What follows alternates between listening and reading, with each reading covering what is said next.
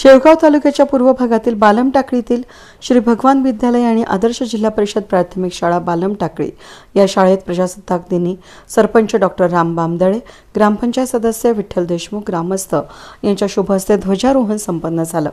यावेळेस गावामध्ये ग्रामफेरी काढण्यात आली.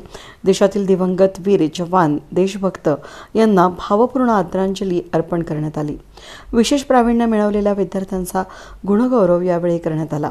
विद्यार्थ्यांच्या कलागुणांना वाव देण्यासाठी विविध गुणदर्शनाचा कार्यक्रम यावेळी संपन्न झाला.